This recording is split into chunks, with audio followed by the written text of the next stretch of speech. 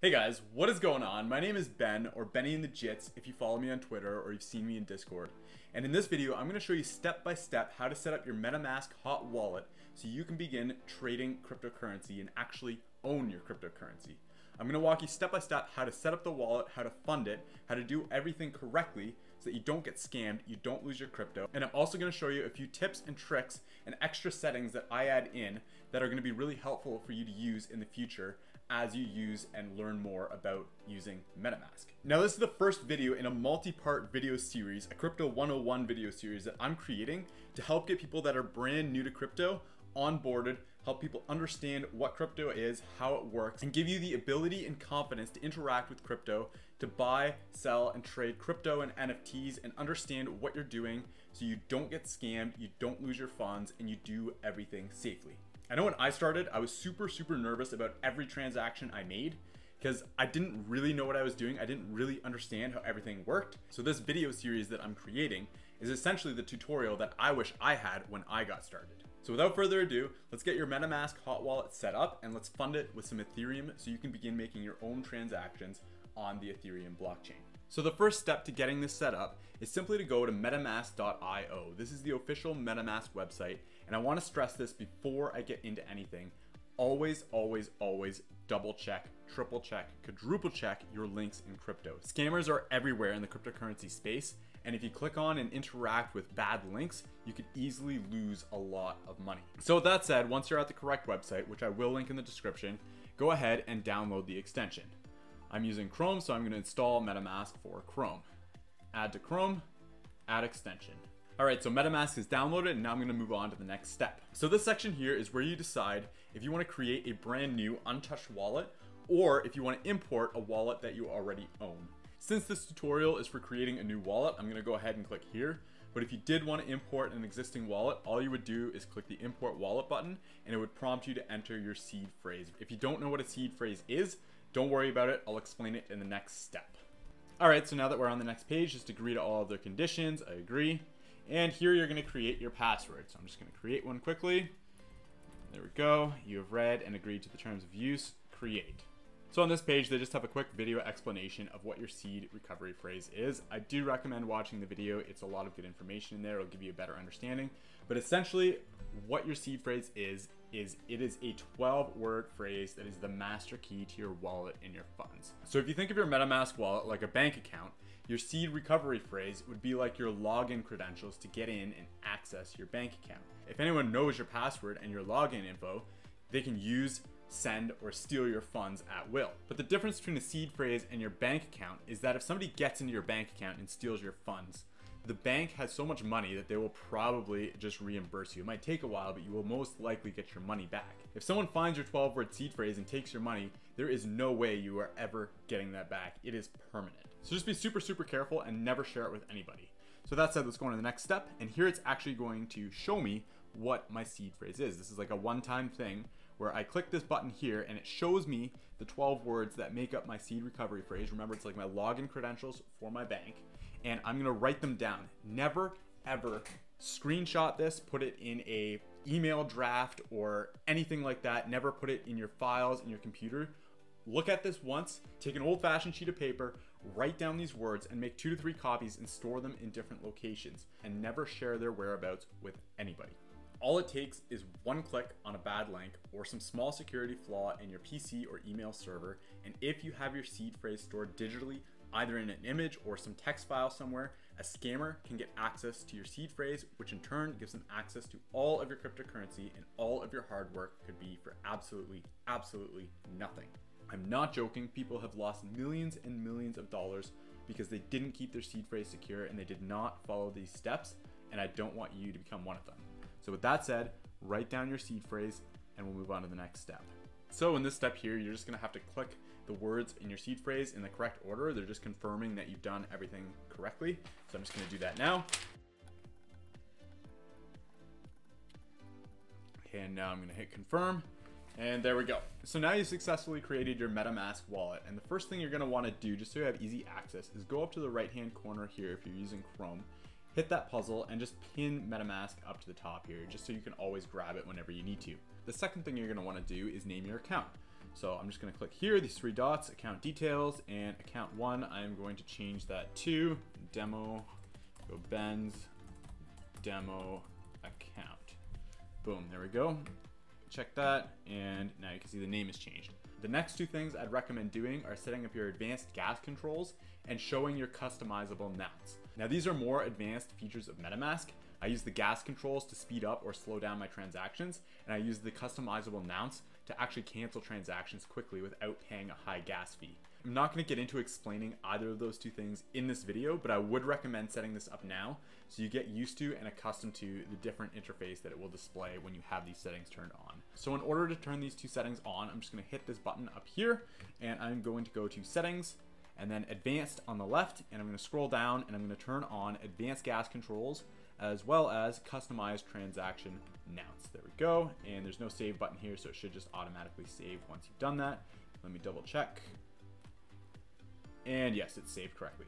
Perfect. Uh, one other thing I do want to mention is that typically MetaMask will show up in a much smaller window. So for example, if you just accidentally say close that window there, all you have to do is click your MetaMask icon in the top right that you've pinned, and you will get all of the same options that I was just looking at there, just on a smaller screen. And this is actually how you would normally interact with MetaMask.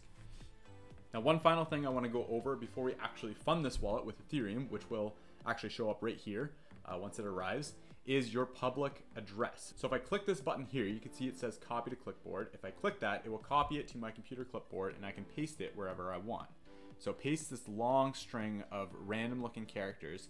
What this is, if you liken it back to the bank account example where your seed phrase is your login credentials, you can think of this address right here as an email address. So when you send an e-transfer with your regular bank account and you send it to someone's email address, that's what you put in when you send cash to them. That's essentially what this is. So when somebody goes to send you money, they're going to need this exact address right here. This is like your email address for your MetaMask wallet, which is why it's called your wallet address. And this is what people will need to have if they want to send crypto to your wallet. Again, just like a regular e-transfer. So this address is not something you need to keep private at all. It's not a big deal if somebody knows what your wallet address is. It's not like the seed phrase where they can take anything from your wallet. It's completely, completely secure. The only real downside for people knowing what your wallet address is, is that then they can just look into your wallet and actually see what you own and how much money you have in there. Because unlike typical bank accounts, that's not hidden people's wallets are on the blockchain. They are public for everybody to see. So once somebody does know your address, they will know exactly how much money and what types of cryptocurrency or NFTs you are storing in your wallet. So that's the only thing to be aware of. And one final thing that I forgot to mention, since we are still on the topic of MetaMask wallet creation, if you do want to set up the same MetaMask wallet on your phone, simply click the icon at the top right, hit settings, advanced, sync with mobile, and normally there's actually a QR code that you can scan with your phone here once you've, of course, downloaded the app from the Google Play Store or the Apple App Store. Normally you can just scan it in right here. It looks like uh, that's temporarily disabled, so you'll just have to go into your app, follow the instructions here, and likely enter your seed phrase that we touched on before, and then everything will get synced up with your phone. One thing to note is that the name of your account that we edited before here as well as tokens, which we will be importing down here. I'm not going to touch on how to import individual tokens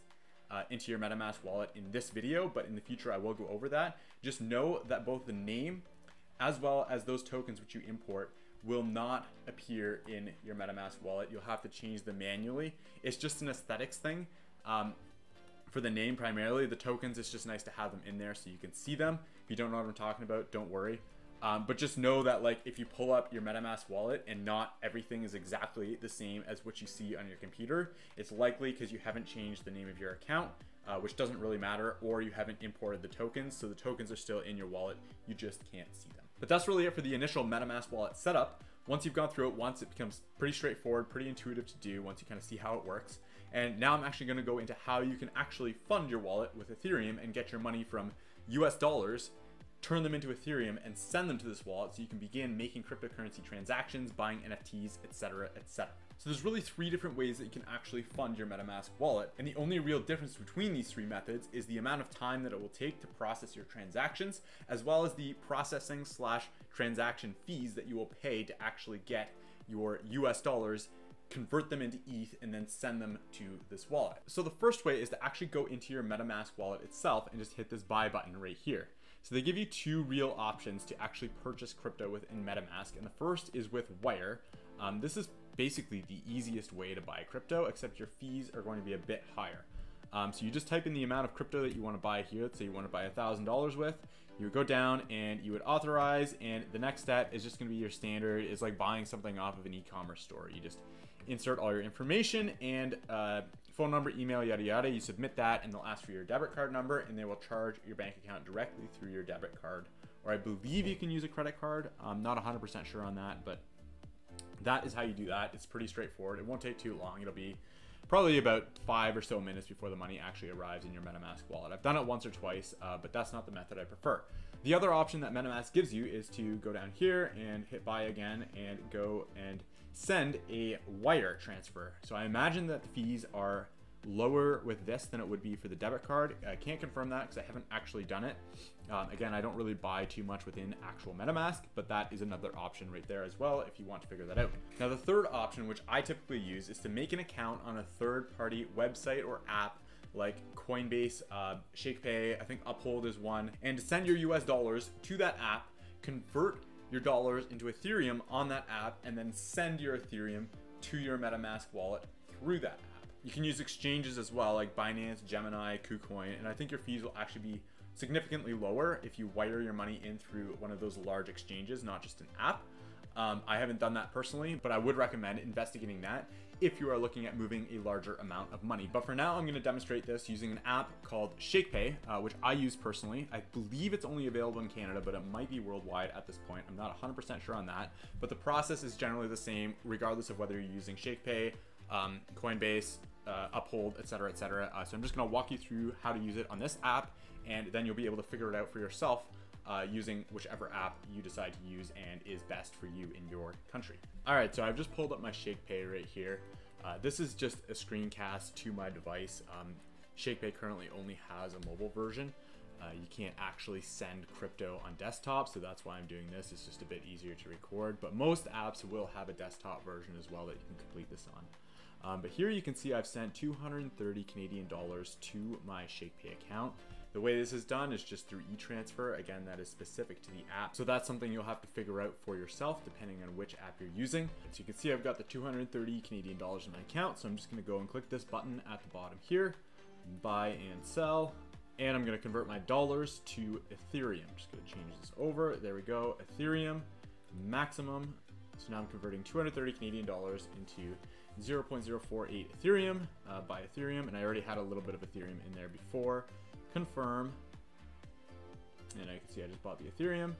And I'm going to close that for now just so we can double check our balances. And there we go. I now have 0.0532 Ethereum, which is 248 Canadian dollars in my account.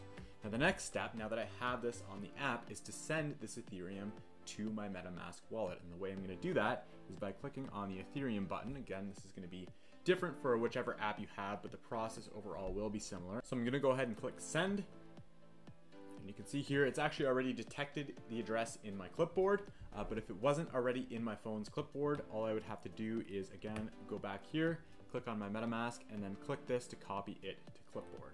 So I'm gonna go here, and I'm going to select that, and then I'm gonna go maximum. Um, so I'm sending all of my Ethereum from my ShakePay to my MetaMask wallet, and one thing I always recommend doing before you send any transaction is to double check the first four and the last four digits in the Ethereum address that you're sending to. There are some scammers who, if they have compromised your computer, can have a program running in the background so that whenever you copy an Ethereum address, it swaps it out in the clipboard of your computer to their own Ethereum address. And if you don't double check this and you happen to have one of those viruses on your computer, you can end up sending your crypto to the scammer's address. It doesn't happen often, but it's something to be aware of and it's something worth getting in the habit of checking every time you send a transaction. So the first four here is 0x20 and the last four is 3536. I'm going to click on my MetaMask up here and just double check. 0x20, 35, 36. So we are good to go there. I'm gonna pop up my ShakePay again, hit continue. From there to there, double check again, 0x20, 35, 36, and confirm. Boom, there we go. Alright, so it's been about five minutes, and you can see that now the Ethereum has showed up in my MetaMask wallet. The values are a little bit different because this is priced in US dollars, whereas before it was Canadian dollars that I was using. One thing to note is that when you're using an app like ShakePay, Coinbase, or using an exchange like Binance, you don't actually own the crypto when you're holding it on that app. Essentially, the exchange or app owns a bunch of that crypto, and when you buy crypto, they give you the rights to own that crypto, but you're not actually physically buying that crypto yourself. They're holding it for you. And sometimes this can result in delays when you're sending crypto between those apps and exchanges because when you go to send your crypto, you're not actually interacting directly on the blockchain. You're simply requesting that the exchange send your crypto via the blockchain, and they can really do that whenever they see fit. Some of them decide to wait for when transaction fees are lower, so your transactions don't go through immediately or as fast as you'd like. On the flip side, once your crypto is on MetaMask or a similar wallet, you actually own the crypto and every transaction you make is you initiating a transaction on the blockchain that you're using. And you will be in charge of the speed at which they execute, and you won't have any of the issues that you might have when you use an exchange that takes its time to actually send your funds. It's not a big deal most of the time, but it's just something to be aware of. Alright, so now that we've successfully funded our MetaMask wallet, we've turned our fiat dollars into Ethereum, I'm going to show you how you can send this Ethereum to another address just like you would an e-transfer in the regular banking world. So I actually have another wallet set up here on this separate browser. And so I'm gonna click on that and just copy that wallet address to my clipboard. Once that's copied, I'm gonna head over to my original MetaMask wallet. I'm going to uh, click send, paste that address in, and again, always double check your addresses. So I'm checking the first and last four digits of the address to confirm that it is correct, and it is. And I'm gonna go ahead and send point. Zero one Ethereum to that address. Once that's set up there, I'm gonna hit next. And you can see it's about 37 bucks and there's going to be a $6 transaction fee. Now this transaction fee will vary depending on how heavily the network is being used. The more people that are using the Ethereum network at the time when you're trying to send a transaction, the higher your gas price, your transaction fee will be. Six bucks is pretty good right now, so I'm gonna go ahead and I'm going to confirm that transaction. And you can see now it is listed in my activity queue as pending. All right, so it took about 30 seconds for that transaction to go through. You can see that in my original wallet here, that the money has been deducted, the money has been sent, and over here, uh, the balance has gone from 0.2578 to 0.2678, which is about $37. So that is how you send cryptocurrency transactions to other people's wallets. Now, if you wanted to cash out and convert your crypto back into regular dollars, all you would have to do is the reverse of what we initially did to get our money into Ethereum in the first place.